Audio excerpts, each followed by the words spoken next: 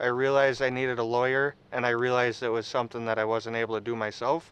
I was a little bit worried that I was in a position that I could be kind of taken advantage of. You just notice a giant weight come down on your shoulders that kind of slows you down and drags you down when you find out you're in a situation where you need to contact an attorney. And once you do that, and then you start thinking about which attorney to contact. And then you get more nervous about that too, because then it's a matter of if you're going to find somebody that's going to look out for your best interest. But the greatest thing about going to Herrling Clark was they, they lifted that weight off the shoulders of mine. They took out that worry and they just made it comfortable. After just 10 minutes with them, I realized that they were great, great people with great hearts that were looking out for my best interests and not just their best interests.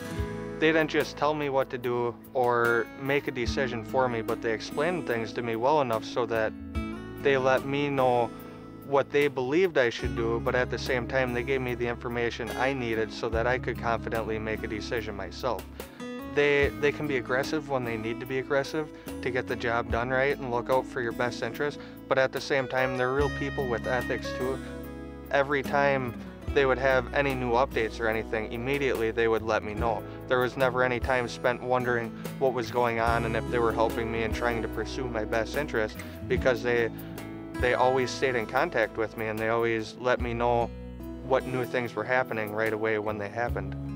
They're great because they're straightforward, they're honest, and they tell you what your honest expectations should be.